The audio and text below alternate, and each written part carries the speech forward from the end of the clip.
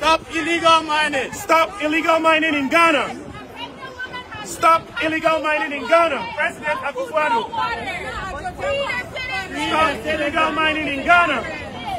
Release the protesters now. Release the protesters now. Stop holding them without legal representation. Stop holding them without medical attention. Stop holding them without food and water. Ghana's president is involved in illegal mining, arresting protesters without legal representation, holding them for days without food and water. And he's here talking about environmental issues. United Nations to put the president in order because you cannot hold protesters in prison as well as in police cells without legal representation and medical care. This is what is happening. 60, 60 year olds are getting arrested. Little kids who uh, were in, included in the protest are being uh, are detained as we speak. Pregnant women are being detained as we speak.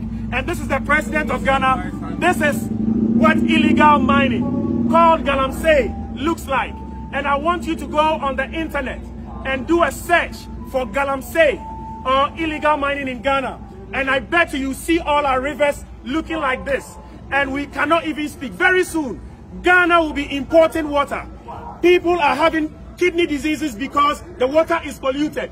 The Ghana Water Company cannot even find the right chemicals to be able to um, fix, uh, purify the water for, uh, for normal consumption.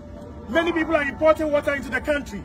And this is what we are standing against. We are also in solidarity with our brothers who have been arrested and have been detained. And we are asking the government to release them as soon as possible. Release the protesters now. Release the citizens now.